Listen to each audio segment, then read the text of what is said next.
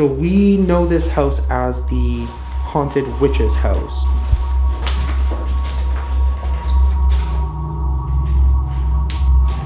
So it says, Good morning, sunshine. My mama always said I was different, and now I'm starting to think she was right.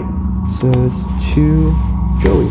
So I guess that person's name's on here. Oh, yeah, it kind of stinks. Yeah. Something rotting? Maybe.